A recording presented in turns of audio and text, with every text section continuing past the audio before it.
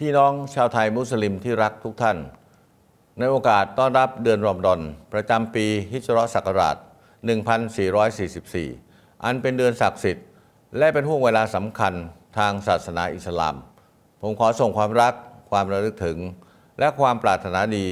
มายังพี่น้องชาวไทยมุสลิมทั่วประเทศ และพี่น้องชาวมุสลิมทั่วโลก และขอแสดงความยินดีต่อพี่น้องชาวมุสลิมทุกท่าน ที่จะได้ร่วมกันปฏิบัติศาสนกิจ อันประเสริฐยิ่งอย่างสมบูรณ์ ตามหลักศาสนาอีกครั้ง ภายหลังสถานการณ์การแพร่ระบาดของโรคโควิด -19 คลี่คลายลง เพื่อชำระขัดเกลา ร่างกายและจิตใจให้บริสุทธิ์ ยึดมั่นในการทำคุณงามความดี เอื้อเฟื้อเผื่อแผ่ระหว่างกัน และยังเป็นห่วงเวลา ที่จะได้น้อมจิตลำลึกถึง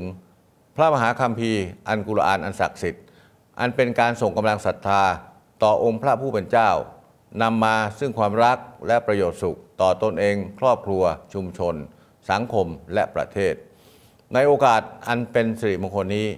ผมขออวยพรให้พี่น้องทุกท่าน ได้ปฏิบัติศาสนกิจอย่างครบถ้วนสมบูรณ์ บรรลุผลสำเร็จ ตามเจตนารมณ์ที่ตั้งมั่นไว้ทุกประการ และขออนุภาพแห่งองค์อัลเลาะห์ที่พี่น้องมุสลิมของท่านเคารพนับถือ ได้โปรดประทานความเมตตา ความสุขสวัสดีปลอดภัย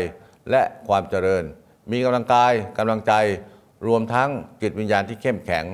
ดำรงตนเป็นคนดีของสังคม และมีความอารีต่อสาธารณะ เพื่อเป็นกำลังสำคัญ ในการสรรสร้างให้ประเทศชาติเจริญก้าวหน้า และมั่นคงสืบไปขอบคุณครับ